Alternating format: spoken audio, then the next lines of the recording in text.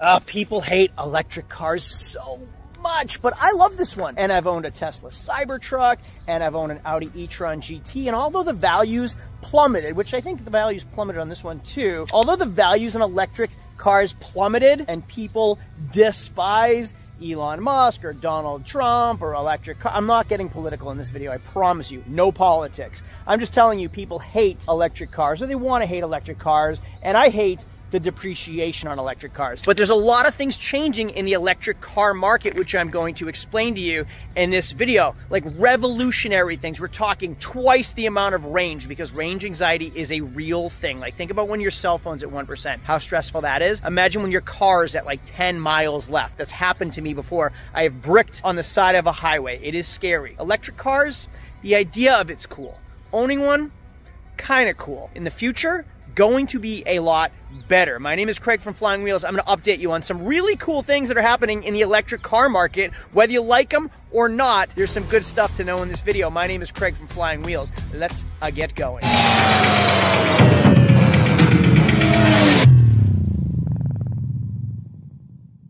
So the real Corvetters hate this car. Why? Because it is an electric Corvette, the first ever electric Corvette. It actually is not. The Corvette E-Ray is a hybrid vehicle, and it's not even a plug-in hybrid. I don't have to plug in anything. I put in my high octane in the rear, and I go. I have an electric motor in the front that drives the front wheels, providing 160 horsepower just to the front wheels. These massive brake rotors and massive Brembo calipers. And then in the rear, I have a 495 horsepower, 6.2 liter V8 powering the rear wheels, making this an all-wheel drive combined car with a combined combined like 670 horsepower ish, something like that. First ever electric Corvette and first ever and only all wheel drive Corvette. I love this car so much. It is so fun for me. However, the diehards hate that it is electric. Why is electric so special? I've done videos in the past with like my Cybertruck where I drove from the east coast of Florida to the west coast of Florida. And after charging, it actually cost me more to drive the Cybertruck and was way more inconvenient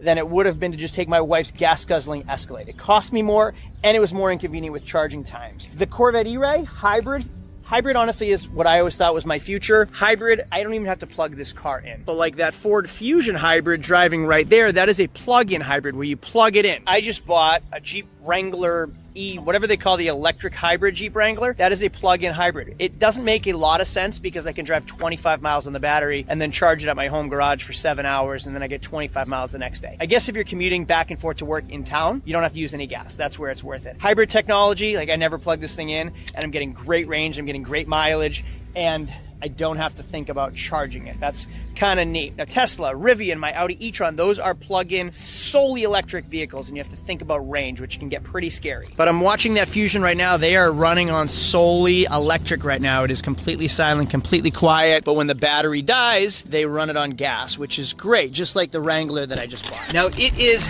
literally 100 degrees in Florida, so if you don't mind, oh, check this starting. I love the way this looks. Now, if you don't mind, I am going to finish the rest of this video in my car because it is literally 94 degrees out right now. Now, let me go through what this video is about and how our future is about to change. Volkswagen just bought a bunch of Rivian Tech or the rights to Rivian Tech, meaning Volkswagen's EVs, my Audi e-tron GT, is going to be Rivian Tech, which is far superior to Volkswagen. It is going to expand from there, and then the future of our big brand manufacturers. Volkswagen owns Lamborghini. I think they own Bentley. I think they own Bugatti. Like there are so many Volkswagen products that you don't even realize. And once they change to Rivian Tech, it's going to be a game changer for Volkswagen and all its subsidiaries. Now Tesla has their own tech and they've revolutionized the EV industry. Now, EVs have taken a beating in the public opinion lately. I mean, between the Donald Trump and the Elon Musk feud, and then is it fake? Is it real? The fanatics are frustrated. The normal people are frustrated. Everybody's frustrated and over with electric vehicles. And not to mention like the challenges that come with owning an electric vehicle like range anxiety and high upfront prices because electric vehicles are more expensive than ICE vehicles, internal combustion engines, and the brutal depreciation that you've seen me suffer on every single electric vehicle I've ever owned. If you followed my journey, then you know I lost nearly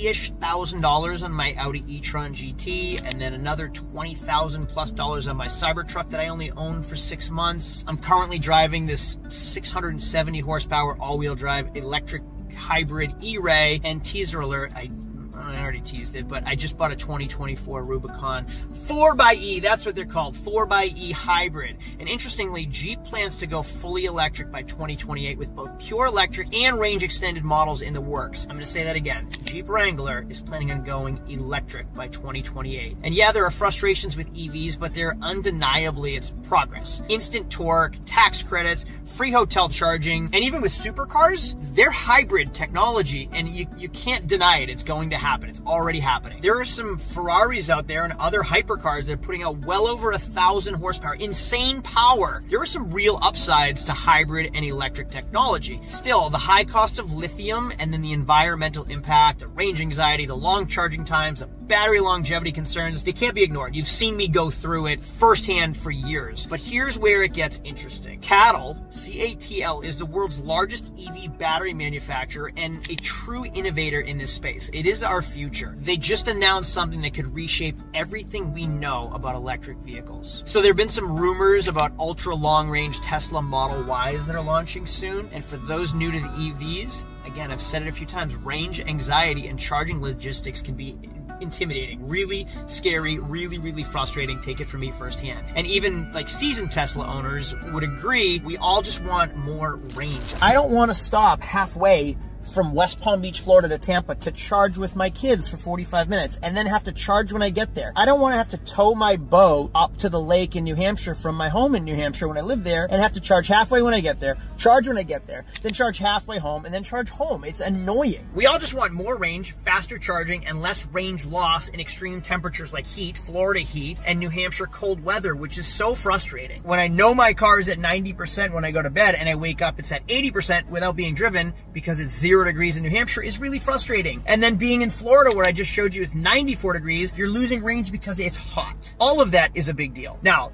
I told you about CATL, C-A-T-L. Their Naxtra's new sodium ion battery platform is going to change everything. Sodium is 421 times more abundant than lithium, so we're talking easier to source and less damage to our planet, which in turn makes it cheaper, more sustainable, safer, and superior thermal stability, like I said, cold and heat. And the real world performance, these batteries can handle negative 40 degrees Celsius and plus 70 degrees Celsius, retaining 90% usable power, even extreme cold, delivering up to 500 kilometers of range. That's 310 miles of range, over 10,000 charging cycles, and integrated real-time BMS. You can monitor from your phone. Now let me break that down for you. I know I use Celsius. It can sustain incredibly low cold and incredibly high heat. Well, a lot of the batteries are more expensive than the car after it's used. You just junk them. It's not worth it. But when you're getting 10,000 charging cycles, it extends the life of the vehicle significantly more. They're also offering a 24 volt version for heavy duty trucks as an abundant, safer alternative to traditional lead acid batteries. Let me explain that to you. I did a video. We know we want to go green. We want to go electric. We know that semi trucks, tow trucks are going to go electric one day. But when range is shortened significantly, we're talking two thirds the range towing right now. Like when I towed with my Cybertruck, I got literally one third the range than I did when I was driving. So let's say you get 300 miles of range to the truck. I was getting 100 miles when I towed my boat. You can't sustain that with a heavy truck towing a heavy load. Well, this is a game changer. And it's not just future tech, it's actually happening right now. This sodium ion innovation is central to another major CATL breakthrough. Their FreeVoy battery system. This setup blends different battery chemistries like LFP,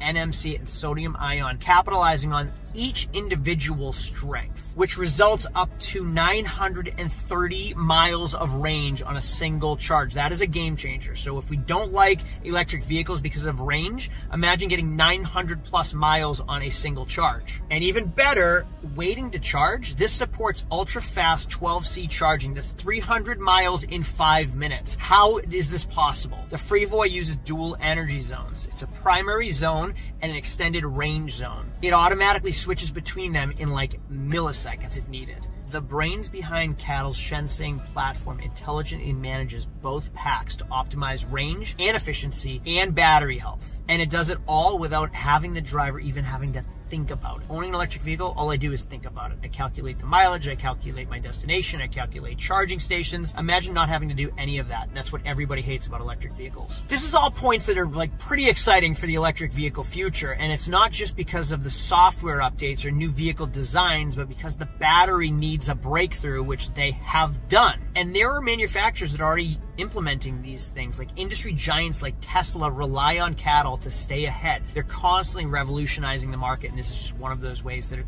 that they're doing it. And if those rumors about a longer range Model Y, they have a long range which isn't long. Imagine doubling that range. Could be dropping this year. If those rumors are true, it's likely innovations like CATL's sodium ion and Freevoy's systems will be at the heart of it. Now imagine a Model Y with 900 plus miles of range, minimal degradation in any weather, and five minute charging. That is what we were sold on electric vehicles originally. That is what we want. And anybody that wants to hate electric vehicles, if this happens, it is undeniable. You have to appreciate what they've created with this technology. We'll have to wait and see, but what's clear is that CATL is setting the pace, and it's one of the most exciting developments in the EV tech right now. Now, as you can see, I'm embracing electric technology. I have in multiple vehicles, and although they had their headaches, there are so many things that I love, and you continuously see me shopping for a new electric vehicle in my videos all the time. I'm going to own another electric vehicle, and it sounds like CATL's working on saving some of these headaches, some of my biggest problems that I'm constantly showing you guys.